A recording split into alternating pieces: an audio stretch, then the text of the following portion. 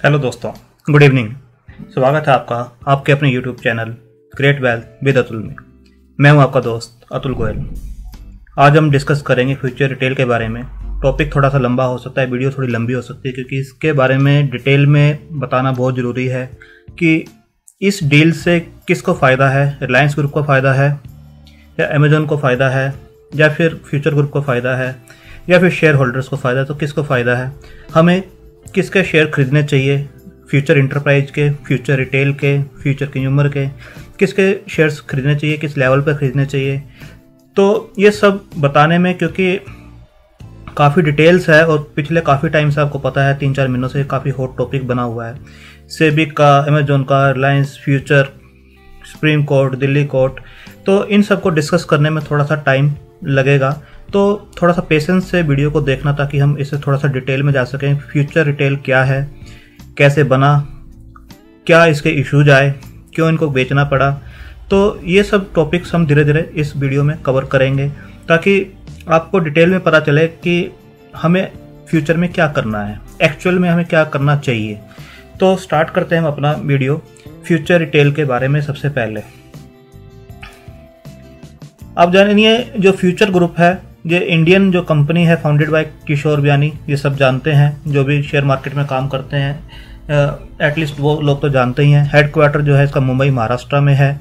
जो ये company start हुई थी जो फ्यूचर ग्रुप वो 2013 में सेवन इयर्स एगो स्टार्ट हुई है। जो इसके एम्प्लॉयज़ हैं 71,000 प्लस इसके एम्प्लॉयज़ हैं। तो कौन कौन से फ़ील्ड में काम करती है? Company is known for having a significant prominence in Indian retail and fashion sectors with popular supermarket chain like. आपने बिग बाज़ार भी सुना है, फ़ूड बाज़ार सुना है lifestyle stores like Brand Factory Central etcetera सब सुने हुए हैं। The group also has a notable presence in the integrated food and F N C manufacturing stores Future Retail Limited and Future Lifestyle ये दोनों ही N S C B S C पे listed हैं। इसके अलावा आपने एफ़ बी भी सुना होगा फ्यूचर फ़ूड बाज़ार सुना होगा फ़ूड हॉल होम टाउन सब रिनाउंड जो कंपनीज़ हैं, इनके पास हैं। इसके अलावा एफ़ एम सी जी में Tasty Bite Fresh and Pure Clean Clean Mate Ekta Premium Harvest ये सब आपने ब्रांड्स सुने होंगे इनके। तो नीचे देखते हैं कि इनकी हिस्ट्री क्या है। जैसे आपने देखा जैसे अभी रिलायंस और फ्यूचर ग्रुप की जो डील हुई है, किस वजह से डील हुई है, क्योंकि काफ़ी टाइम से जो डेट का बर्डन था फ्यूचर ग्रुप के ऊपर बहुत ज़्यादा था। और ये डील जो है स्लम डील हुई है। स्लम डील में क्या होता है कि कोई वैल्यूशन नहीं लगाया जाता, एक लमसम डील होती है, उसके अकॉर्डिंग ये लमसम डील जो है रिलायंस के साथ की गई है। इससे पहले भी ही जो है अब देखेंगे मई 2012 में Future Group announce 50.51 percent stake sale of Pantaloons Pantaloon सबने नाम सुना है, उसका जो जो ब्रांड था वो फ्यूचर ग्रुप के पास था, जो कि इन्होंने 8000 करोड़ का जो इनका डेट था, उसको रिड्यूस करने के लिए काफ़ी पहले। चलता हुआ अपना ब्रांड आदित्य बिरला ग्रुप को सेल आउट कर दिया था। उसका 50.1 परसेंट स्टेक जो था आदित्य बिरला ग्रुप को सेल कर दिया था। उसके बाद जो स्टेक सेल हुआ था, उसे एक नई कंपनी जो बनी थी पेंटालून रिटेल को लेटर जो नाम दिया गया था अदर्स जो इनके पास स्टेक बचा था, उसे फ्यूचर वैल्यू रिटेल चेन और रीनेम्ड फ्यूचर रिटेल लिमिटेड जो आप जानते हो, ये यहाँ से ये कंपनी आई है फ्यूचर रिटेल बन के जो आई है, इस टाइप से। ये आई है। अब इस फ्यूचर रिटेल का जो है, आप देखेंगे यहाँ पर 29 अगस्त 2020 को रिलायंस ग्रुप के साथ एक एग्रीमेंट हुआ है, जिसके अंदर इसका जो रिटेल का बिज़नेस है वेयर हाउस बिज़नेस है लॉजिस्टिक्स है, और होलसेल का जो बिज़नेस है, वो सारा का सारा रिलायंस रिटेल को बेचा जा रहा है। तो this takeover is yet to be approved by SEBI SEBI से भी अप्रूवल लेनी है सीसीआई वगैरह से अप्रूवल आ चुकी है इसकी। अब आप देखेंगे जो रिटेल में है इनका थोड़ा सा आपको समझाऊं मैं। तो retail Future Retail Limited Future Lifestyle Fashion Limited Future Consumer Limited Future Enterprise Limited स्वास्थ्य Stephen shop and Food Hall ये जो कंपनीज़ हैं, ये सारी की सारी रिटेल के अंडर आती हैं। तो रिटेल के अंदर और क्या क्या बिज़नेस हैं? इसके अलावा जो अगर फ्यूचर ग्रुप जो है फाइनेंशियल सर्विसेज़ में भी है। आपने फ्यूचर जंगराली लिमिटेड जो इटालियन कंपनी है जिनके साथ इनका टाई अप है। उसके अंडर लाइफ इंश्योरेंस का भी बिज़नेस है और जनरल इंश्योरेंस का भी बिज़नेस है। जैसे आप यहाँ देखेंगे लाइफ इंश्योरेंस का बिज़नेस है इनके पास जनरल इंश्योरेंस का भी बिज़नेस है और फ्यूचर वेंचर है। तो आप देखेंगे बिज़नेस काफ़ी है इनके पास और रिनाउंड बिज़नेस है सारे के सारे। बट जो मेन इशू है इनका, जो डेट का इशू है, जिसकी वजह से और एक सडनली इनको क्यों डील करनी पड़ी? क्योंकि जो कोविड नाइन्टीन हुआ है, उसके अंदर जो इनके स्टोर्स बंद हुए, वहाँ पर इनकी पोजीशन और भी ज़्यादा खराब हो गई। डेट पहले ही था इंटरेस्ट जा रहा था कंपनी की, वो ग्रोथ नहीं हो पा रही थी और कोविड नाइन्टीन की वजह से जो बिल्कुल ही इनकी जो बैकबोन है, वो टूटी है। उसके बाद इनको इमिडिएटली डेट रिड्यूस करने के लिए ये जो है एग्रीमेंट्स करने पड़े हैं। तो फ्यूचर रिटेल के अंडर कौन कौन सा आता है फ्यूचर रिटेल लिमिटेड में? आप देखेंगे Home Time Home Town Future Retail furniture retailer chorio Food Bazaar fashion at Big Bazaar यानी F B B Aadhaar wholesale E zone Food Hall Easyday Big Bazaar Nilgiris Heritage Fresh Hyper City ये सब इसके under आते हैं। तो आप देखेंगे ब्रांड्स काफ़ी हैं इनके, नीचे तक ब्रांड्स हैं। अब आप देखेंगे कि जो डिस्प्यूट हुआ है फ्यूचर और लाइंस ग्रुप के ऊपर, वो क्या डिस्प्यूट हुआ है कि अमेजोन ने जो किया था 2019 में, यहाँ पर देखेंगे अमेजोन और फ्यूचर के बीच में 2019 में एक डील हुई थी, जिसके अंदर फ्यूचर कूपन्स के जो स्टेक था, वो अमेजोन को दिया गया था। और उसके अंदर एक एग्रीमेंट हुआ था कि जो इसकी ग्रुप कंपनीज़ है फ्यूचर ग्रुप की जो कंपनीज़ है, अगले 10 साल तक कोई भी अगर अपना स्टेक सेल करती हैं तो सबसे पहले अमेजोन से पूछा जाएगा, क्योंकि वो सिमिलर बिज़नेस में है दोनों अमेजोन और फ्यूचर तो सबसे पहले अमेजोन से उसकी एडवाइस ली जाएगी रिटर्न में अप्रूवल लिया जाएगा, उसके बाद ही वो किसी को स्टेक सेल कर सकते हैं. अदरवाइज़ जो फ़र्स्ट प्रायोरिटी है, वो अमेजोन की होगी, उसे टेक ओवर करने की. और ये जो एप्लीकेबल था एज पर फ्यूचर ग्रुप ये तीन साल बाद एग्रीमेंट जो है एप्लीकेबल होना था, दस साल के लिए बट तीन साल के बाद एप्लीकेबल होना था, यानी जो ये डील हुई थी 2019 में हुई थी, जो एप्लीकेबल होनी थी 2022 में एप्लीकेबल होनी थी 10 साल के लिए। तो अभी ये एप्लीकेबल नहीं थी as per Future Group but as per Amazon group उनका जो स्टेक था, उनको जो कूपन मिले थे तो फ्यूचर रिटेल पे सबसे पहले उनसे कंसेंट लेना चाहिए था इमीडिएटली उनसे कंसेंट लेना चाहिए था। बट ये एक कंफ्यूजन है, इसलिए जो है कोर्ट में केस भी चल रहा है इसका, और सिंगापुर कोर्ट में भी जो इंटरनेशनल कोर्ट है, उसके अंदर भी ये केस चल रहा है। तो अभी देखते हैं कि ये किस टाइप से चीज़ें निकल के सामने आती हैं। तो अभी आप देखेंगे कि फ्यूचर ग्रुप का जो रिटेल का शेयर है, वो कितने प्राइस पे चलता है। अभी जो है 80 के आसपास इसका प्राइस चल रहा है 52 वीक हाई जो है इसका 382 के आसपास है और 52 वीक लो 60 के आसपास है। ऑलमोस्ट 60 अपने इस बिल्कुल नियर बाई काम कर रहा है ये। मार्केट कैप जो है तिरतालीस सौ सोलह करोड़ के आसपास की इसकी मार्केट कैप है। बाकी इसके जो रिजल्ट्स हैं वो आपको बता देता हूँ। एक चेकलिस्ट है इसको इन्वेस्ट करने से पहले। तो रेड फ्लैग्स हैं, आप देखेंगे। Too much promoter holding pledged moderate risk 2.42 percent moderate risk है इसके अंदर। अगर पैटर्न को देखेंगे तो जैसे मैंने बताया स्मॉल कैप कंपनी अब स्मॉल कैप कंपनी बन चुकी है ये। तो तिरतालीस करोड़ का इनका मार्केट कैप है। Are return on capital ten point nine percent का। आर जो है return on capital return on equity two point three percent है। तो कुछ भी इसके अंदर इंप्रेसिव आपको नज़र नहीं आएगा। आप देखेंगे 200 डीएमए से शेयर लगातार ही नीचे काम कर रहा है। कोई बुलिश मोड में नहीं है। कुछ भी इंप्रूवमेंट के चांसेस इसके अंदर नहीं लग रहे हैं। अब क्वार्टर टू क्वार्टर अगर इनकी सेल्स को कंपेयर करते हैं, पिछले कुछ क्वार्टर से आप देखेंगे सेल जून 2018 में हुआ करती थी, पैंतालीस करोड़ के आसपास की, वो आप देखेंगे रिड्यूस होकर तेरह करोड़ एंड देन चौदह करोड़ के आसपास रह गई है। ओपीएम देखेंगे ऑपरेटिंग प्रॉफिट मार्जिन जो किसी भी कंपनी के लिए मैटर करते हैं, पाँच परसेंट से रिड्यूस होकर माइनस में चले गए जो कि माइनस ग्यारह कोविड नाइन्टीन में, जैसे मैंने बताया था, इनकी सिचुएशन बहुत ज़्यादा खराब हो गई थी, इसलिए इनको इमीडिएटली वो चीज़ें करनी पड़ी हैं, जो डील है। तो प्रॉफिट मार्जिन जो है minus one percent operating profit जो 221 करोड़ के आसपास आया करता था, वो minus one crore and then minus eighteen crore के आसपास आ रहा है। नेट प्रॉफिट जो है 150 करोड़ से रिड्यूस होके, ये आप देखिए बढ़ता जा रहा है, जो लॉस है, वो बढ़ता जा रहा है। 479 था माइनस में, फिर 562 हुआ, अब 692 करोड़ हो गया। नेक्स्ट क्वार्टर का इससे भी ज़्यादा लॉस होने के चांसेस हैं। लॉस क्यों हो रहा है? क्योंकि interest burden quarter to quarter ज़्यादा होती जा रही है। आप देखिए यहाँ पर 231 थी 278 देन 362 तो जो पहले ही माइनस में प्रॉफिट्स चल रहे हैं, उसके ऊपर इंटरेस्ट ये पे कर रहे हैं तो ये जो है माइनस में और भी ज़्यादा माइनस होता जा रहा है।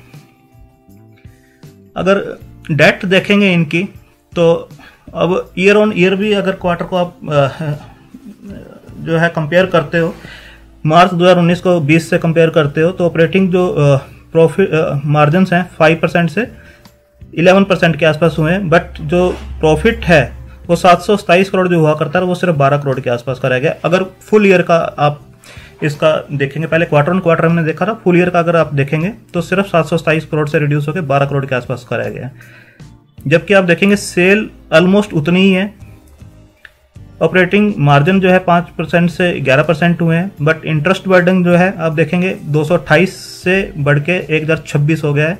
तो जितना भी प्रॉफिट हो रहा था, वो सारा का सारा इंटरेस्ट में चला गया है तो जो सात सौ सताइस का का प्रॉफिट होना चाहिए था, वो चौदह करोड़ में रह गया बैलेंस शीट पे जो इनकी डेट देखेंगे तो छब्बीस करोड़ की जो डेट थी, वो बढ़ के मार्च 2020 में दस हज़ार आठ सौ तेरह की हो गई है और सितंबर में जो बढ़ के ग्यारह हज़ार आठ सौ उन्नीस की होगी। तो ये बढ़ती ही जा रही है क्योंकि इंटरेस्ट पे नहीं कर पा रहे हैं ये लोग पूरी तरह से। रिज़र्व जो थे, सैंतीस करोड़ से उनतीस के हो गए हैं। एसेट्स जो हैं दस सौ बढ़ के बीस हो गए हैं।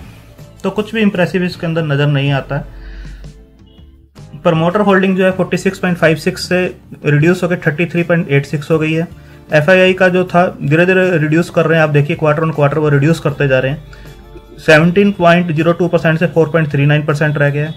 डीआईआई का 5.08 परसेंट से ऑलमोस्ट सेम ही है 6.46 के आसपास है। बट आप एक चीज़ नोट करेंगे, जो जनरल पब्लिक है, उसके पास होल्डिंग बढ़ती जा रही है। 36.20 से इंक्रीज होकर 55.29 परसेंट के आसपास की जनरल पब्लिक के पास होल्डिंग हो गई है इसकी। तो जनरल पब्लिक के पास होल्डिंग बढ़ने का मतलब है, कहीं ना कहीं कुछ गड़बड़ है। अब हम देखते हैं, ये जो डील हुई है रिलायंस और फ्यूचर ग्रुप की, इसे सीसीआई से अप्रूवल मिल गई है। CCI approve Future Group and Reliance Retail deal even देखिए सेटबैक फॉर अमेजोन जो अमेजोन का जो केस चल रहा है सिंगापुर कोर्ट इंटरनेशनल कोर्ट में भी चल रहा है। बट उसके बावजूद भी सीसीआई ने इस डील को अप्रूवल दे दिया है ग्रुप फ्यूचर ग्रुप की और रिलायंस रिटेल की जो डील है उसको अप्रूवल दे दिया है Reliance Retail will now have access to close to 1800 uh, store across Future Group. Big Bazaar F B B Easyday Central Foodhall formats जितने भी हैं अक्रॉस फोर ट्वेंटी सिटीज़ में है तो इससे रिलायंस रिटेल को तो प्रॉफिट होना ही होना है अब देखते हैं कि फ्यूचर ग्रुप को ये प्रॉफिट है कि उनकी डेट उतर जाएगी।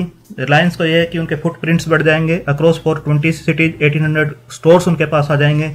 जो उनका बड़े बड़े रिटेल से कंपटीशन चल रहा है, इनकी एक्सेस बहुत ज़्यादा हो जाएगी और इन, ये अमेजोन फ्लिपकार्ट वगैरह सबको इजीली compete कर सकते हैं।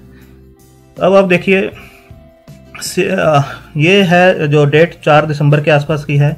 SEBI question B S C on its note for Future deal SEBI ने बी एस सी से जो एक्सचेंज है, उससे क्वेश्चन किया है, उससे लेटर्स भेजे हैं कि चार केस पेंडिंग है बट आपने उनको regulatory ask how deal was clear despite for unresolved complaints कि रिलायंस और फ्यूचर डील को कैसे आपने गो एड कर दिया है, जबकि चार कंप्लेंट्स पड़ी हुई हैं including one by Amazon dot com तो ये चार तारीख की एक लेटर गया है सेबी की तरफ़ से बीएससी को, कि आपने ये चार कंप्लेंट्स जब पेंडिंग पड़ी हुई हैं, तब भी आपने रिलायंस और फ्यूचर की जो डील है, उसको कैसे गो एड कर दिया है? क्योंकि यहाँ पर अमेजोन ने एक्सचेंजेस को भी लिखा है एनएससी बीएससी को सेबी को भी लिखा है, कि इस डील को रोका जाए, क्योंकि ये जो फ्यूचर ग्रुप के शेयर होल्डर्स हैं, उनके लिए बिल्कुल भी फ़ायदेमंद नहीं है। फ्यूचर ग्रुप के शेयर होल्डर्स को इसमें कुछ भी नहीं मिलेगा। तो अमेजोन ने क्लियर ये चीज़ें लिखी हैं कि एक्सचेंजेस को कि ये जो है जनरल पब्लिक को फूल बनाने वाली बात है। इससे किसी को कुछ फ़ायदा नहीं होगा शेयर होल्डर्स को, सिर्फ़ जो फ़ायदा होगा रिलायंस को होगा या फिर फ्यूचर ग्रुप को होगा। शेयर होल्डर्स को इसमें कुछ नहीं मिलने वाला। अब डील किसी से भी हो फ्यूचर ग्रुप की, बिकना तो उसे है ही। बट वो रिलायंस के पास जाएगा या अमेजोन के पास जाएगा, ये तो वक्त बताएगा। पर शेयर होल्डर्स को क्या मिलेगा? उस पर हम एक बार डिस्कस कर लेते हैं। जो स्वैप रेशो निकल कर आई है, वो क्या चीज़ है? इस स्वैप रेशो में जो Future Enterprises will issue nine shares for each every for every ten shares in Future Consumer इसका मतलब यह है कि जिसके पास 10 शेयर फ्यूचर कंज्यूमर के हैं, उसको नौ शेयर रिलायंस इंटरप्राइजेज के मिलेंगे। इसमें क्या है कि जितनी भी ये कंपनीज़ हैं, मैं आपको बता देता हूँ Future Consumer Future Lifestyle Future Retail, Future Supply Chain, Future Market Network. ये जो पाँच कंपनीज़ हैं, one, two, three, four, five, ये सारी के सारे जो भी इसके अंदर शेयर्स हैं, अभी जो ट्रेड हो रहे हैं मार्केट में, उन सबको रिलायंस का कोई भी शेयर नहीं मिलेगा। जो पहले चल रहा था कि शायद रिलायंस के साथ ये मर्ज हो रहे हैं तो रिलायंस के कुछ शेयर मिलेंगे और शेयर होल्डर्स को अच्छा फ़ायदा हो जाएगा, उसका रिलायंस रिटेल के मिल जाएँगे। ऐसा कुछ भी नहीं है। इस स्वैप रेशो में जो भी शेयर्स मिलेंगे, वो एग्रीमेंट के अकॉर्डिंग जो फ्यूचर और रिलायंस के बीच में एग्रीमेंट हुआ है रिलायंस का कोई भी शेयर किसी को नहीं मिलेगा। उनको शेयर मिलेंगे फ्यूचर इंटरप्राइजेज के। अब फ्यूचर इंटरप्राइजेज के नौ शेयर मिलेंगे, जिसके पास दस शेयर हैं फ्यूचर कंज्यूमर के। 116 शेयर फ्यूचर इंटरप्राइजेज के मिलेंगे, जिनके पास 10 शेयर हैं फ्यूचर लाइफस्टाइल फ़ैशन के। 101 शेयर मिलेंगे फ्यूचर इंटरप्राइजेज के, जिनके पास 10 शेयर हैं फ्यूचर रिटेल के। 131 शेयर्स मिलेंगे, जिनके पास 10 शेयर हैं फ्यूचर सप्लाई चेन के। 18 शेयर मिलेंगे फ्यूचर इंटरप्राइजेज के, जिनके पास 10 शेयर हैं फ्यूचर मार्केट नेटवर्क के। अब यहाँ पर जो दिखाया गया है कि इन सबसे ये जो प्रीमियम पे डील हो रही है मतलब कि शेयर होल्डर्स को इसको 36 से 75 परसेंट का प्रॉफिट है। ये जो स्वैप रेशो है, इससे 36 से 75 परसेंट जो है शेयर होल्डर्स को प्रॉफिट है। यहाँ देखिए फ्यूचर का इंटरप्राइजेज uh, का जो प्राइस अभी माना गया है बीस रुपये और उस टाइम पे जो प्राइस था 151 था फ्यूचर सप्लाई चेन का तो उससे जो स्वैप रेशो निकल कर आ रही है तो 75.2 के प्रीमियम पे ये स्वैप रेशो बनती है। फ्यूचर लाइफस्टाइल 61.5 परसेंट का जो स्वैप रेशो होगी जो फ्यूचर लाइफस्टाइल के जो शेयर होल्डर होंगे उनको कन्वर्ट किया जाएगा फ्यूचर इंटरप्राइजेज में और उसके बाद जो उनको प्रॉफिट होगा वो 61.5 परसेंट का प्रॉफिट होगा। फ्यूचर कंज्यूमर को शेयर होल्डर्स को 58.5 फोर का होगा, फ्यूचर रिटेल वालों को 50.9 का, फ्यूचर मार्केट नेटवर्क को 36.4 का प्रॉफिट यहाँ दिखाया गया है। बट ये सिर्फ़ आँख में धूल झोंकने वाली बात है, ऐसा कुछ भी प्रॉफिट नहीं होगा। ऐसा इसलिए नहीं होगा क्योंकि जो फ्यूचर इंटरप्राइजेज है उसके पास अभी जो है 49.5 करोड़ के आसपास के शेयर्स हैं जो मार्केट में ट्रेड होते हैं। उसके टोटल जो शेयर्स हैं 49.5 के हैं। जो उसका मार्केट कैप है, उसके हिसाब से उसके शेयर्स जो मार्केट में ट्रेड होते हैं 49.5 करोड़ के आसपास के हैं। जब इन कंपनीज़ के जो शेयर्स होंगे, वो कन्वर्ट होंगे फ्यूचर इंटरप्राइजेज में। इन पाँच कंपनीज़ के शेयर्स जो कन्वर्ट होंगे, जिनके पास 10 शेयर्स हैं, इसके, उसको फ्यूचर के मिलेंगे 151 के उसको मिलेंगे 116 शेयर। दस शेयर के बदले 116 शेयर मिलेंगे लाइफस्टाइल के।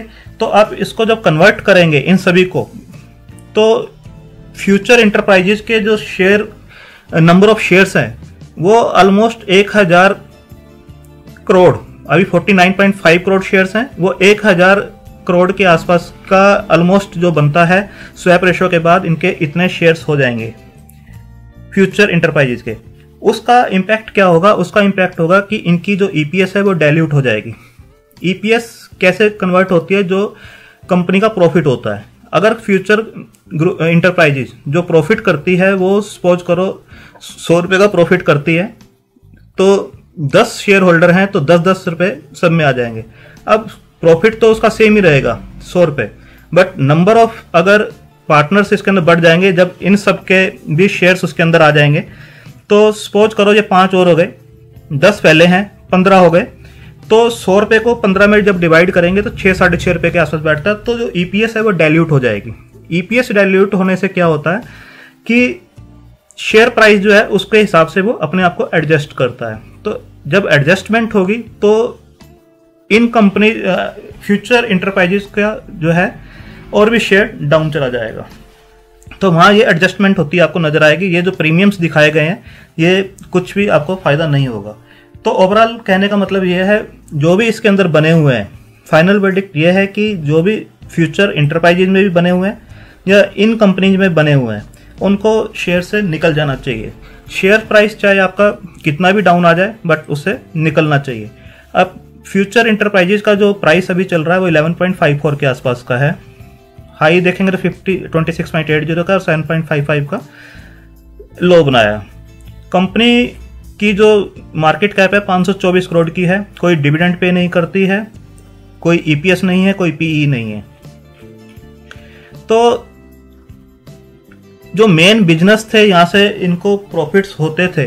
बिग बाज़ार या एफ़ जो रिटेल के बिज़नेस थे, या वेयर हाउस के बिज़नेस थे, या अदर बिज़नेस जो थे, जितने प्रॉफिट वाले बिज़नेस थे, वो रिलायंस रिटेल के पास जा रहे हैं, उनको प्रॉफिट हो रहा है। इनकी डेट रिड्यूस हो रही है, इनको प्रॉफिट हो रहा है। कुछ एग्रीमेंट्स ऐसे होंगे जो रिलायंस और फ्यूचर इंटरप्राइजेज के बीच में होंगे, क्योंकि फ्यूचर इंटरप्राइजेज जो है, इनका मैनेजमेंट हो सकता है कि इनके पास आ जाए, जो भी रिटेल स्टोर्स हैं, इनको एग्रीमेंट मिल जाए बट इनसे बहुत ही कम प्रॉफिट्स फ्यूचर इंटरप्राइजेज को होने वाला है।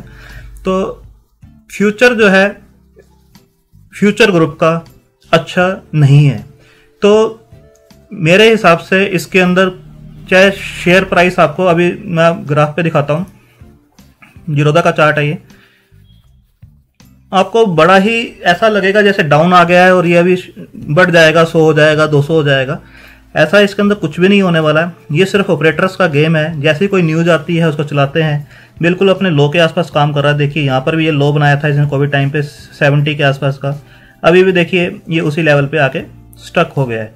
थोड़ा सा ये ऊपर है बट इसके अंदर नहीं फंसना चाहिए, इसको बेच के निकलना चाहिए। स्वैप रेशो कुछ भी नहीं है। अगर आपको बाद में जब इंटर फ्यूचर इंटरप्राइजेज के शेयर ट्रेड करेंगे, उस टाइम पर आपको देख लेना चाहिए, अगर उसकी बिज़नेस अच्छा चल रहा है फ्यूचर इंटरप्राइजेज का, उस टाइम पर आप उसे ले सकते हैं। बट अभी स्वैप रेशो के चक्कर में इस शेयर में बिल्कुल मत फंसीए कि शेयर जो है अपने 52 वीक हाई से काफ़ी डाउन आ गया है। जैसा यहाँ पर है, छह सौ चालीस का शेयर आपको साठ सत्तर रुपए में मिल रहा है, यानी सिर्फ़ टेन परसेंट पे मिल रहा है नाइन्टी परसेंट डिस्काउंट पे मिल रहा है। तो इसके अंदर आपको बिल्कुल नहीं फंसना चाहिए। आपको इससे निकलना चाहिए और मेरी एडवाइस यही है, इससे अच्छे अच्छे शेयर्स हैं, उसमें जाइए। इसमें कोई टेक्निकल्स नहीं है, कोई फ्यूचर नहीं है, कोई फंडामेंटल्स नहीं है इस कंपनी के। अगर आपको इसके अंदर इन्वेस्ट करना है तो जब ये पूरा डिस्प्यूट खत्म हो जाए रिलायंस का अमेजोन का फ्यूचर ग्रुप का, उसके बाद एक एंटिटी बन जाए फ्यूचर इंटरप्राइजेज उसके बाद उसकी ग्रोथ आप देख लीजिए। अगर आपको लगता है उसके अंदर ग्रोथ है, उसके अंदर अच्छे बिज़नेस हैं फंडामेंटल चेंज हो रहे हैं डेट रिड्यूस हो रही है कॉन्ट्रैक्ट्स आ रहे हैं उनके पास तो उसके बाद आप पैसा लगा सकते हैं। इससे अच्छी अच्छी कंपनीज़ है मार्केट में, उनमें पैसा लगाइए, इसके अंदर अभी डिस्प्यूट से दूर रहिए, मेरी एडवाइस आपको यही है। बाकी आप अपने फाइनेंशियल एडवाइजर से एक बार एडवाइस ले लीजिए बेटर एडवाइस लीजिए, क्योंकि पैसा जो होता है बड़ी मुश्किल से कमाया जाता है और कैपिटल मार्केट में कैपिटल सेफ़ करना ही हमारा मेन मोटिव होता है। यहाँ पर पैसा लगा के डुबोना नहीं है, क्योंकि गेम चलेगी, पैसा है तो। आप क्रिकेट की तरह देखिए पिच पर हो और गेम चल रही है विकेट पे खड़े रहोगे तो रन भी बनते रहेंगे और मैच भी जीत जाओगे। अगर विकेट उड़ जाएगी तो सब उड़ गया। तो यहाँ पर पैसा बचा के रखो, कैपिटल को सेव करके रखो। पैसा कम बन जाए, ठीक है बट लॉस नहीं होना चाहिए। इसके अंदर अगर आप स्टक हो गए तो कोई फ्यूचर नहीं है फंडामेंटल नहीं है। ये आपको सिर्फ़ लग रहा है कि 90 परसेंट सेल पे मिल रहा है, जैसे बिग बाज़ार में मिलती हैं चीज़ें बट इसके अंदर कोई फंडामेंटल नहीं है। इससे आपको निकलना चाहिए और अच्छी कंपनी में पैसा लगाना चाहिए। थैंक यू धन्यवाद।